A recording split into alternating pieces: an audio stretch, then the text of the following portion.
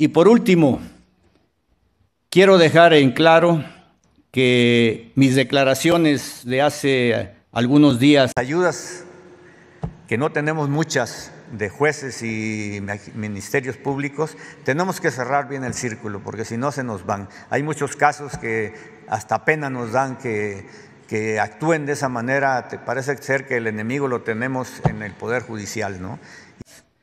En donde dije que parece ser que tenemos el enemigo en casa, quiero pedir una disculpa pública a quien se lo merezca, porque hay buenos jueces, hay buenos ministerios, públicos, hay buena justicia social, pero también tenemos ciertos eh, problemas dentro de ese ramo.